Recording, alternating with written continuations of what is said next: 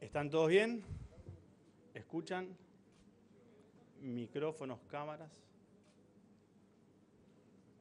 Muy buenas tardes. Quiero comunicarles que hemos terminado una muy buena jornada electoral. Se votó en toda la Argentina. Estamos, como siempre, todavía en algunas escuelas. Están votando.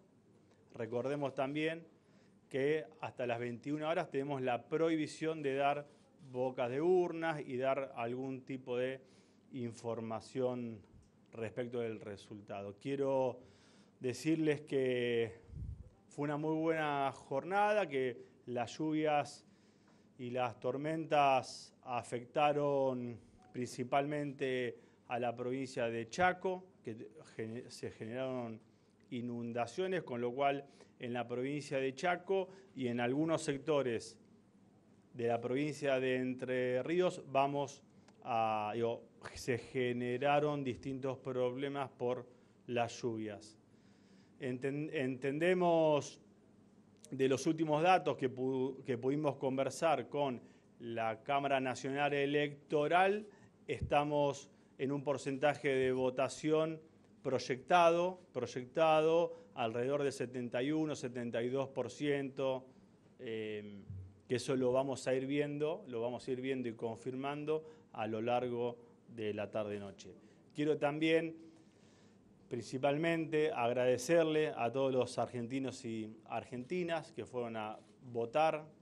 Hubo más gente, hubo, por suerte, también funcionó el nuevo protocolo sanitario que permitió que se pueda votar de manera más rápida, más fácil y más ágil.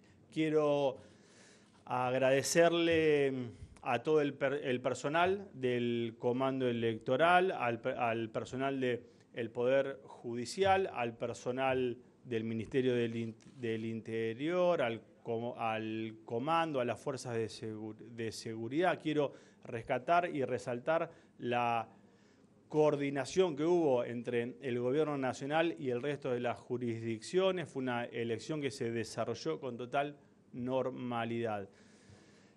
Quiero felicitar en particular a dos eh, personas que, tienen a su, cargo dentro del Ministerio la administración del proceso electoral, Patricia García Blanco, la, secretaria de Asuntos Políticos, y Diana Quiodo. Diana es la directora de la Dirección Nacional Electoral, que es la primera vez en la historia de Argentina que una mujer ocupa la Dirección Nacional Electoral, que es una dirección muy importante que tiene que ver con el corazón de la organización del proceso electoral.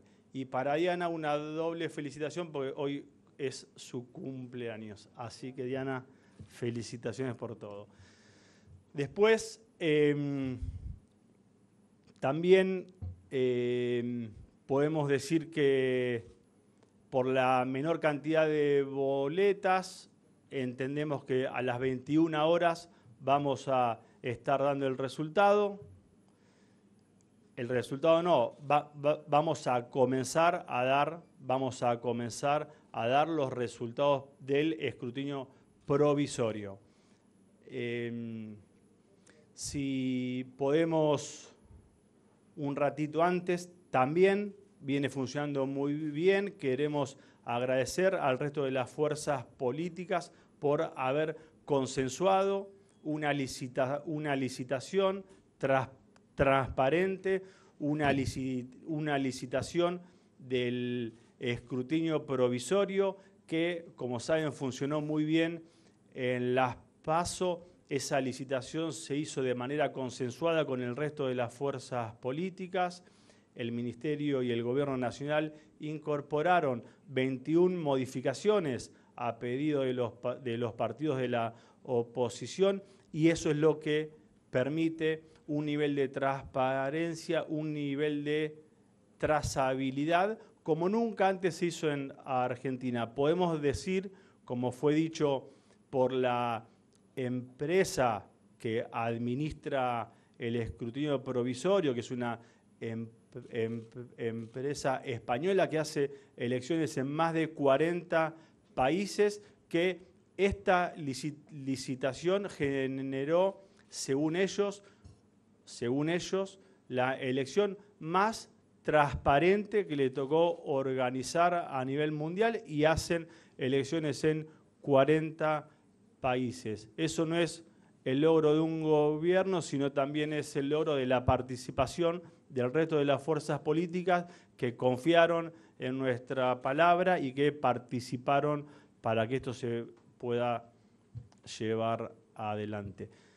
Sin más, seguramente me estoy olvidando de algo, pero a las 9, a las 21 horas vuelvo y le vamos a dar comienzo al inicio de los resultados provisorios de las elecciones. Muchas gracias a todos y a todas.